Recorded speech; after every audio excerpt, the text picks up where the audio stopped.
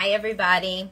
I had props. I bought something wrong from Amazon, but they are literally red flags. They were for something in the yard, but I bought the wrong thing, so I thought that these would be a good prop for, you know, being somebody who talks about red flags in partners. And I just did a little reel on some red flags, and they were red flags for being sex negative. And I talked about being easily disgusted, thinking that a sex life was just bad only due to all of your exes one by one without understanding that, you know, sex drive goes down over time.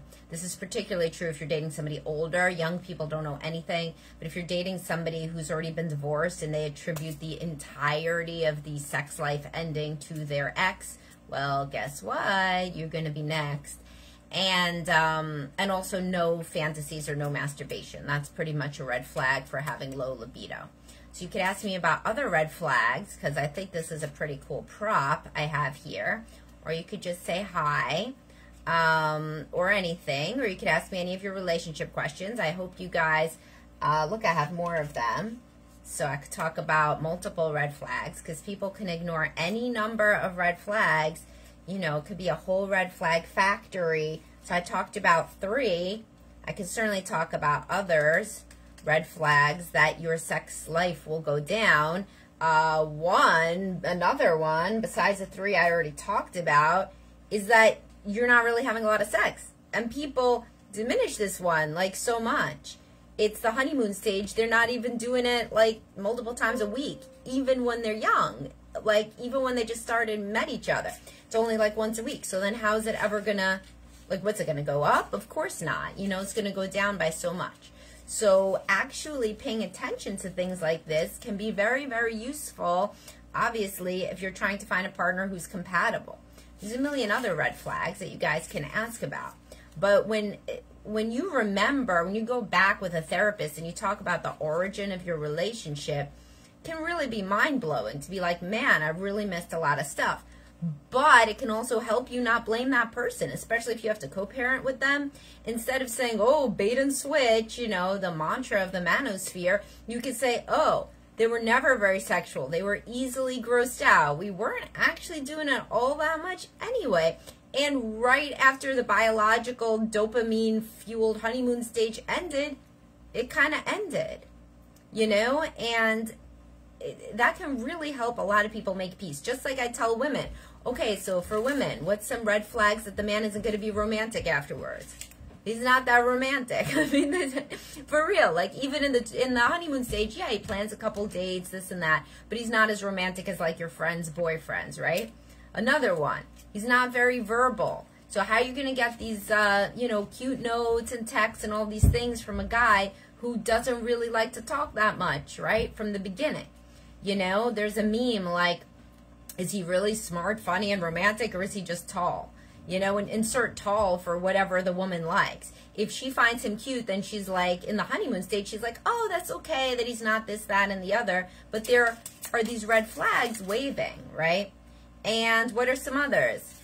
He was never that romantic with his ex-girlfriends. This is not like you found a diamond in the rough. This common, common um, human cognitive error there. Oh, it's more important if he did it with me for the first time or if she did it with me for the first time.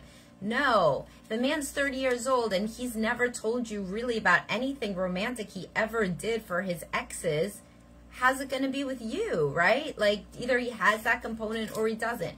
The same as I tell men, if she never enjoyed sex before you, unless she's like 18 years old, how's she going to be, you know, doing it with you? That's a porn fantasy. That's not reality. So I hope you guys like these props.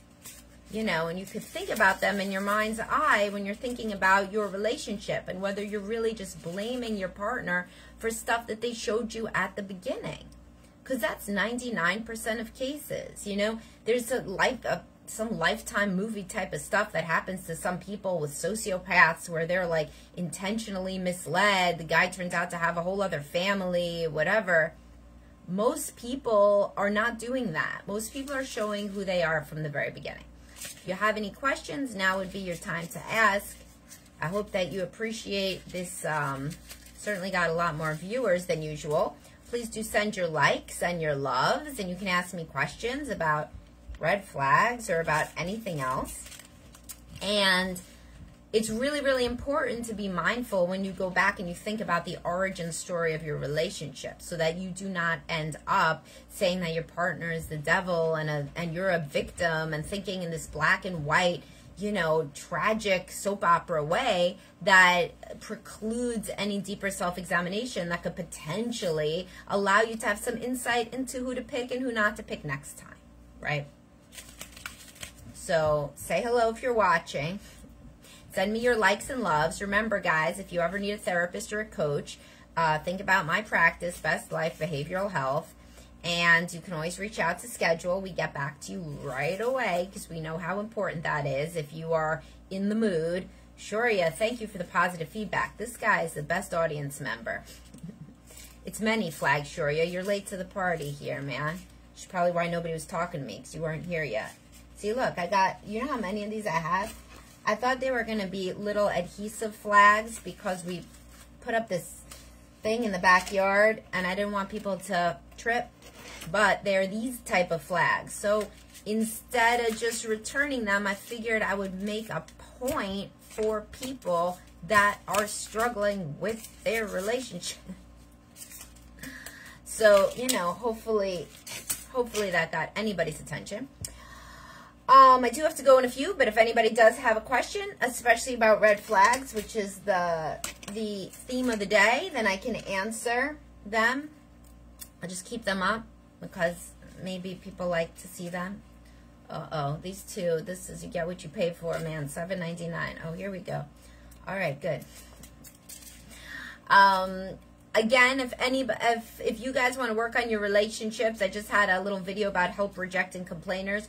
Don't be a help rejecting complainer. That's another red flag, by the way. If the person that you're dating is always saying that they're victimized, they have problems with friends, they have problems with work, they have problems with family, they have problems with everybody except you. Well, guess what? You just didn't fall off the pedestal yet. They're going to have problems with you very, very soon, called as soon as the honeymoon stage remits. So these people, men and women, who go in and find these wounded birds to date, eh, they have problems with everybody. But now that I'm here to save them and to rescue them, it's going to be better. It's not going to be better. It's going to be better for one and a half to three years until their dopamine wears off. And then you will fall from grace as well. Shoria says, which attachment style is more of a help rejecting complainer? You tell me, man. You've been studying with me for a long time now, Grasshopper. Why don't you guess? I bet you can guess. Try. If not, I'll tell you. But I bet you can guess, sure, yeah. I have faith in you. If not, don't worry. I'll just tell you. but go ahead. I want to see if you could get. We're waiting for Shoria in this round of Jeopardy. I'm waiting. I'm not going to answer because I know you could get this. If you're if you're thinking cap on, I feel like you could get this one, yeah. I could give you a hint. Tell me if you want a hint. Like, call a friend. I'll give you a hint. I only have two minutes, but I don't want to tell you because I feel like you can guess. Do, do, do, do. Seems like a lot of women I date complain a lot. Right, right. That's true. Okay, fine. Well, remember your upbringing. I'm sure you don't forget it often, but I remember it as well. So you might be drawn to do do do fearful avoidant women. The ones whose childhoods were also difficult because you match up on that without even kind of knowing it consciously. But fearful avoidant, that's the most dramatic type. And it's the type that gets them Right. Anxious and avoidant complain for different reasons, but who then complains the most? The combinatorial, anxious and avoidant in one style. Fearful avoidant. Fearful avoidant. So the fearful avoidant type, they want closeness, but they're scared of it. So they pursue it, but they act so difficult by, for example, complaining so much that nobody can really get close to them, thereby confirming the way that they think about the world. You don't date uh, you don't date those anymore, but maybe you used to. Hopefully not. You know, some people are just negative. So with depression can come some help rejecting complaining too.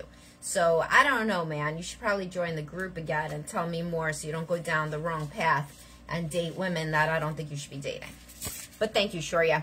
And thanks to everybody for participating in my fun game. And I will talk to you guys soon. I got to go to a client. And I hope that y'all have a wonderful whatever day this is, Wednesday. Bye-bye.